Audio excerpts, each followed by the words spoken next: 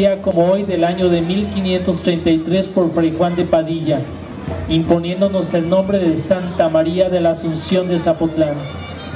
Los residentes, los nativos,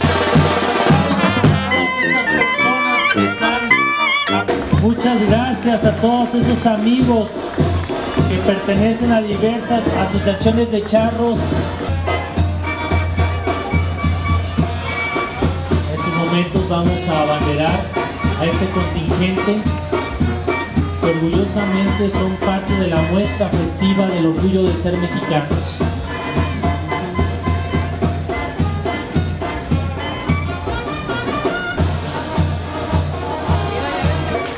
Un aplauso a todo este contingente que se une en este marco festivo del aniversario de nuestra ciudad.